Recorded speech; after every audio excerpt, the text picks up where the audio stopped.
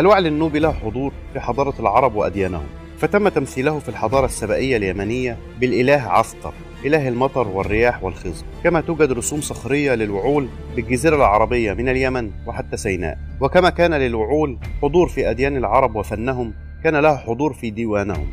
حيث قال أمية بن أبي الصلت ليتني كنت قبل ما قد بدا لي راعيا في الجبال أرعى الوعول. كما ذكر الوعل في التناخ أو العهد القديم أو التوراة كتاب اليهود المقدس في سفر المزامير المزمور 104 النص 18 هريم هجافوئيم لإليم سلائيم مقسى لجفانيم.